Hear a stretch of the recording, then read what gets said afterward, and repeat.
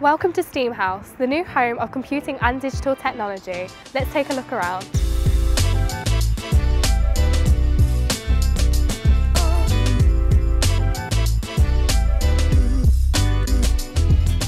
STEAMhouse has many teaching rooms across four floors, which are open, mouldable and offer agile learning.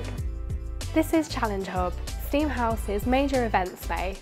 Many external and internal guest speakers have been invited to host sessions just in this very room, such as the Mayor of Birmingham, the Vice-Chancellor of BCU and the Chambers of Commerce. There have also been many cool events such as Careers Fair and Innovation Fest. It's a great opportunity for students to network with local businesses and professionals right next to where you'll be studying.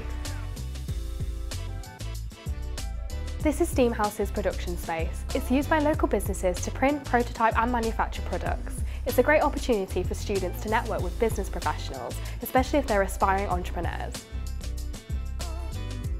This is the co-working space where businesses can meet, network and collaborate. It's in the heart of STEAMhouse, right next to the business incubator and the teaching rooms. This is the STEAMhouse Incubator, home of many businesses with their own office space. Being so close to teaching facilities, it opens up so many opportunities for students to get involved.